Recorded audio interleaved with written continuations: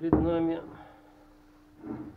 нога, сапог, редуктор от лодочного мотора Хайди 9.8. Тохообразный мотор, он же HDX 9.8, он же Tohatsu 9.8, Nissan Marine 9.8. Хочу я его разобрать. В принципе, я собирался продать этот механизм.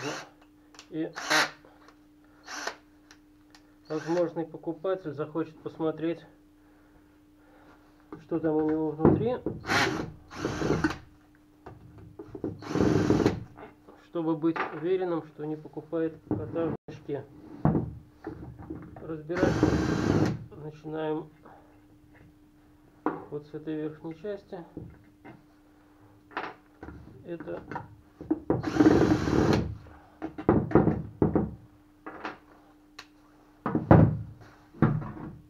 Так, здесь у нас находится помпа.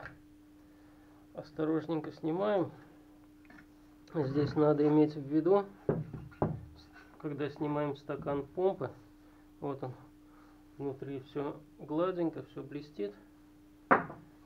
Под помпой есть, опа, вот он выпал, такой вот штырек. Это типа шпонки чтобы когда крутится вал, вот посмотрите, место под эту, шпон, под эту шпонку. Вот она. Чтобы когда крутится вал вертикальный, помпа также крутилась. Откладываем в сторону. Снимаем по хорошем состоянии. Никакой, никаких задиров. Теперь снимаем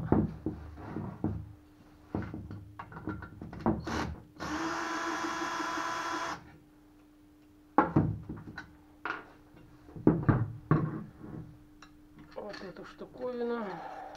Здесь у нас металлическая пластина. Так вот и раскладываю в таком порядке, как я снимал. Прокладка.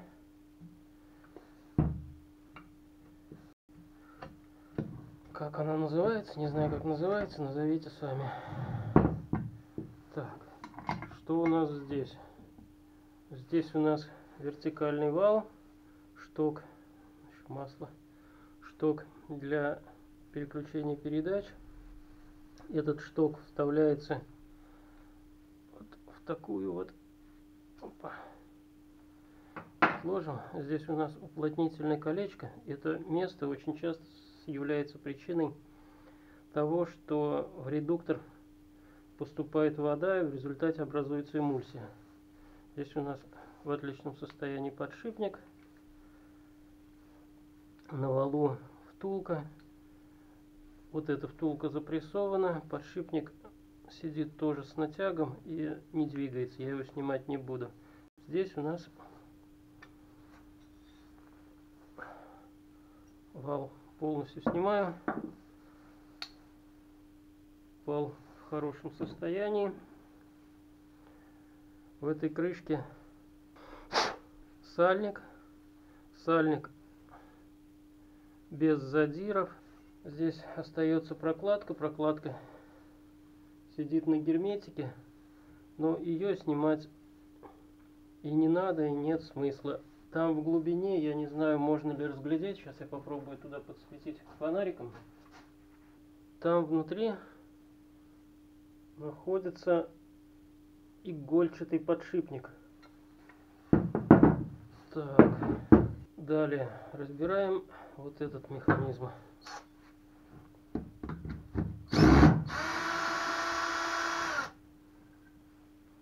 Так.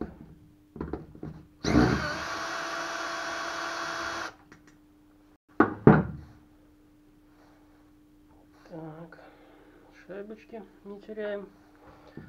Вот эта фиговина, она снимается.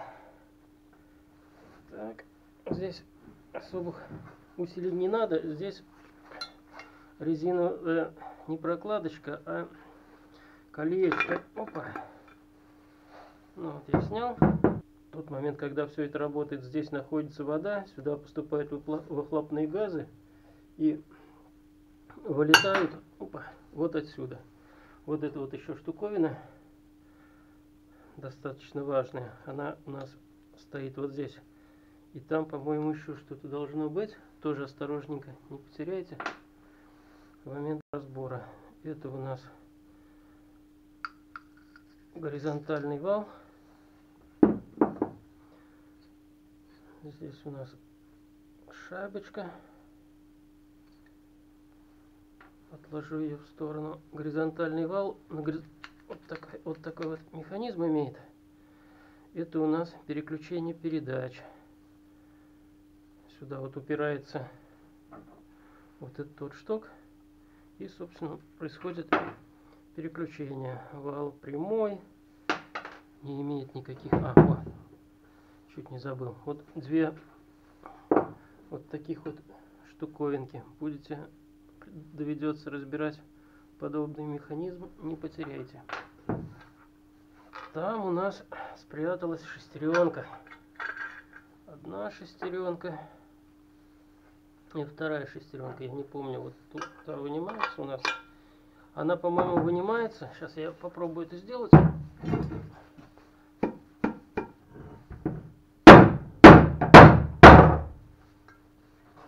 Ну вот. Таким вот методом попытал, попытался извлечь. Она здесь ничем не закреплена, просто вставлена в обойму подшипника там подшипник внутри. Ну, подшипник сидит в посадочном месте, и чтобы его снять, нужен специальный инструмент. Снимать мы его не будем, да и эти подшипники, насколько я знаю, ходят, что называется, вечно. Ну все, мотор у нас разобран. Теперь можно собрать назад сборку. Начинаем с установки вот этой шестеренки. Вот, кладем просто ее на свое законное рабочее место. Дальше ставим стоять вертикальный вал.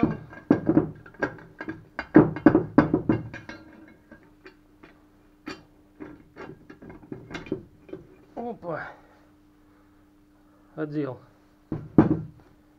Да таким механизмом нужно потренироваться. Проговорил, эта штуковина живет там внутри.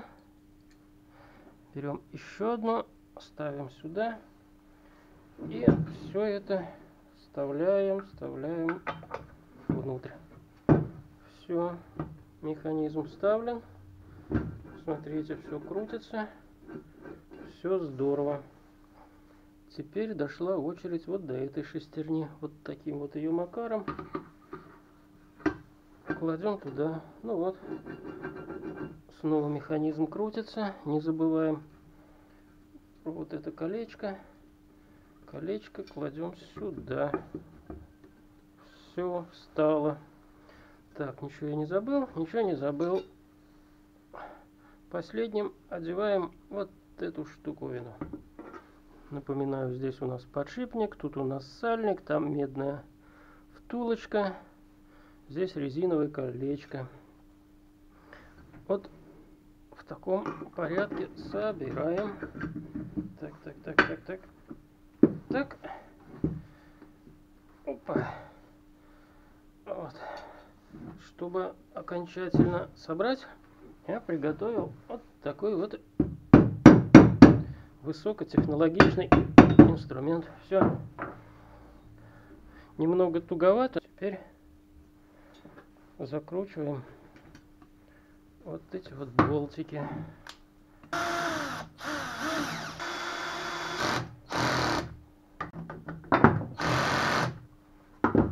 Все, здесь собрано. Так, далее вставляем шток. Шток вставляем, вот смотрите, изгиб его сейчас видно, изгиб вот в эту сторону. Шток вставляем срезом вот так внутрь. Ой, Ой, ну, ну это уже не страшно, сейчас я ее соберу. Так. Шток вставляем. Вставили. И теперь нам нужно поставить вот эту... Нет, это не пластик, я думал пластик, это дюраль или алюминий. Итак, здесь у нас сальник. Все это опять же делаем осторожненько, чтобы не было никаких задиров. Так, так, так. Опа. Сидит. Родная. Теперь нам нужно одеть корпус помпы и саму помпу. Значит, поворачиваем вот этим пазом вверх. Кладем сюда нашу шпонку. Берем помпу. Обратите внимание, у помпы есть загибы. Загиб. Вот если она новая, то в принципе все равно, как ее одевать. А если она уже поездила, походила, то желательно, вот видите, вот, чтобы вот эти загибы шли по ходу вращения вертикального вала. Но у меня она новая, поэтому смысл-то мудрить здесь нет. Одеваю как хочу. Главное, чтобы смотрю, чтобы вот этот вот паз был также сверху, как и этот. И одеваю.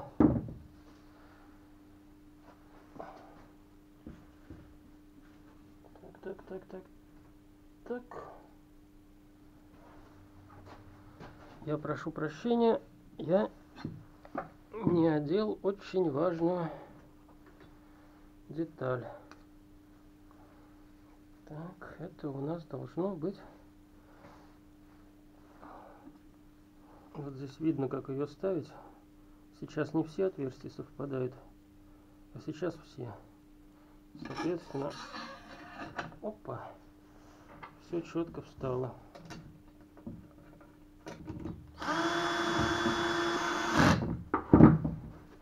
Все замечательно.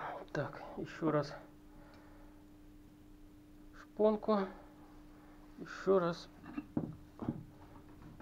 помпу. Все. И теперь корпус помпы. Здесь нет никаких задиров. Все гладенько. Все отверстия. Нет никаких трещин. Одеваем. Одевается вот так вот. Здесь, кстати, прокладочка. Так, так, так, так, так. И теперь вот так вот немного поворачиваем. Опа. Все, села. Шуруповертом такие вещи делать, конечно же, неправильно. Просто я уже привык и более-менее выставляю нагрузку, которую он может затягивать